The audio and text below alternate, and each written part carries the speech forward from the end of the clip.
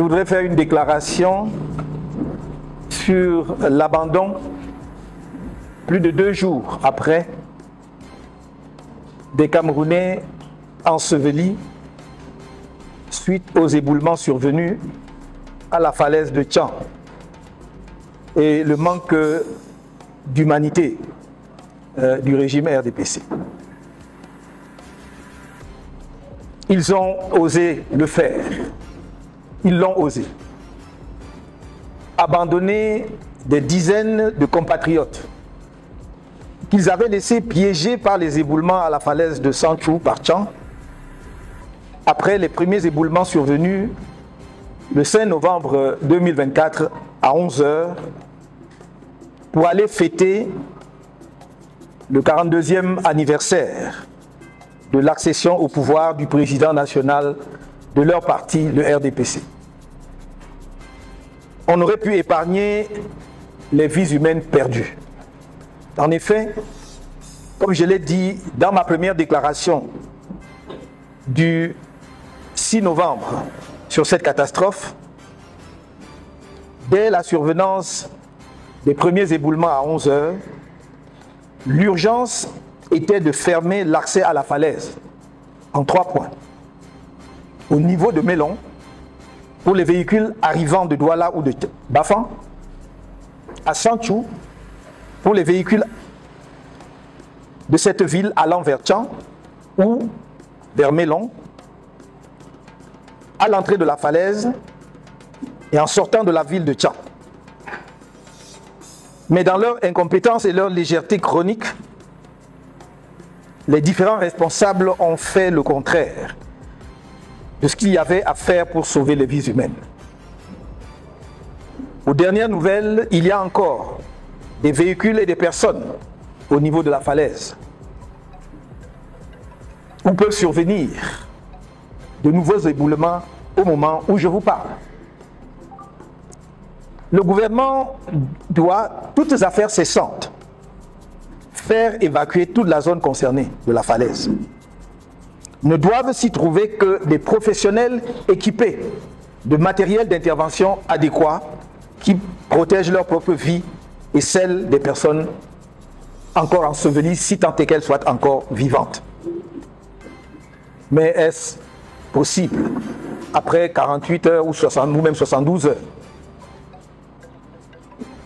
Où est le président de la République Chef de l'État Chef des armées Monsieur Paul Biya Si depuis son retour au pays, il a pu recevoir, d'après ce qu'on nous a fait croire, un diplomate étranger en fin de séjour, pourquoi n'a-t-il pas dit un mot Fait un communiqué plusieurs jours après le drame alors que des dizaines de ses compatriotes restent ensevelis et abandonnés à une issue fatale?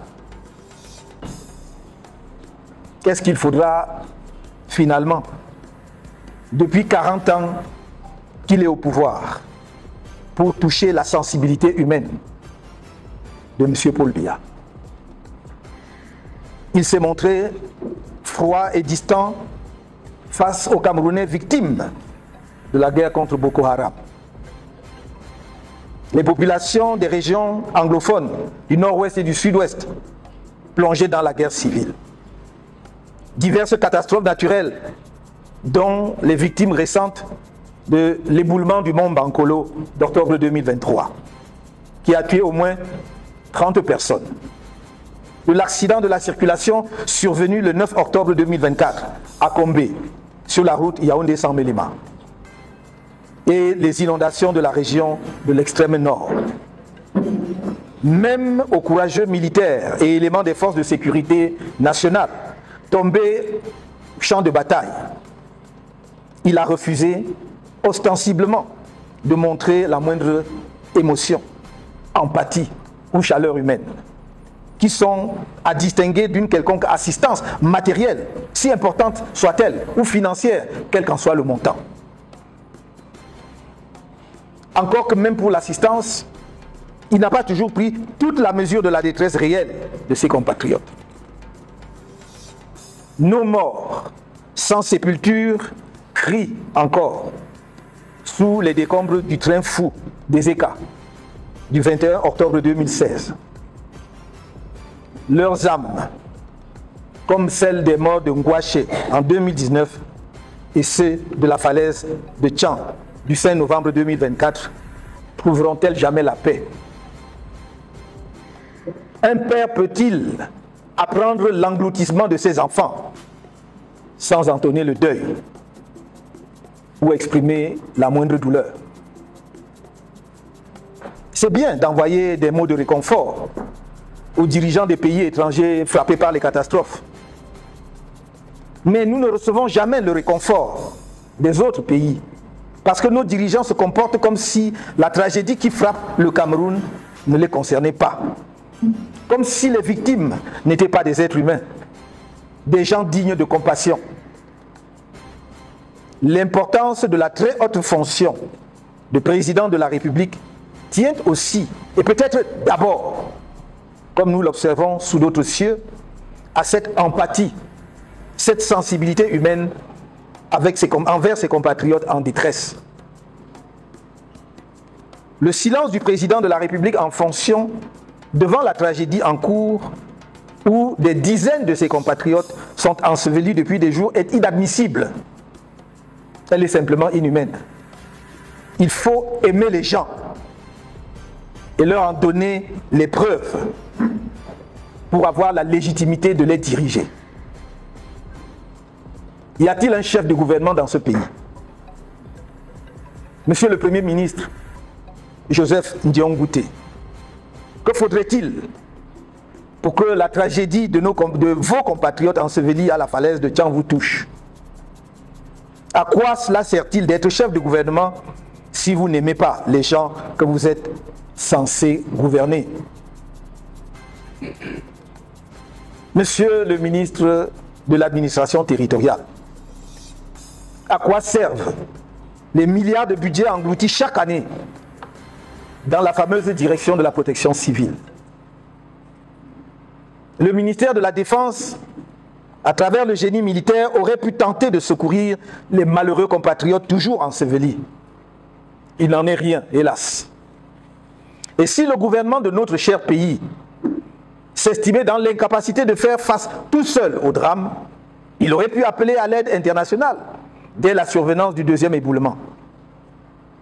Mais on est obligé de constater avec tristesse qu'il n'y a pas de commandant à bord du navire Cameroun. Le peuple est abandonné à lui-même.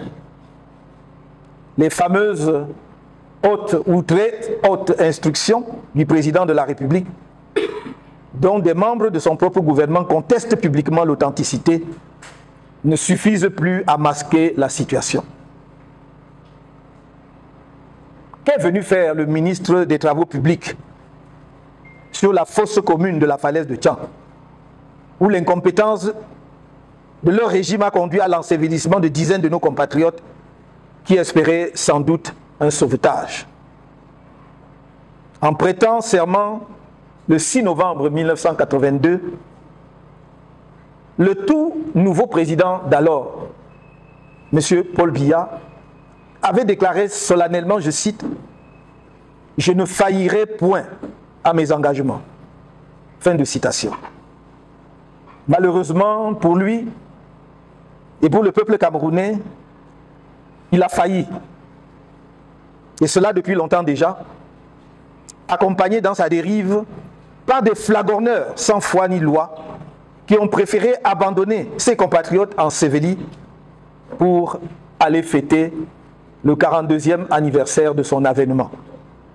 Notre pays est au bout du rouleau, où le changement n'est plus simplement une nécessité démocratique, mais une exigence existentielle.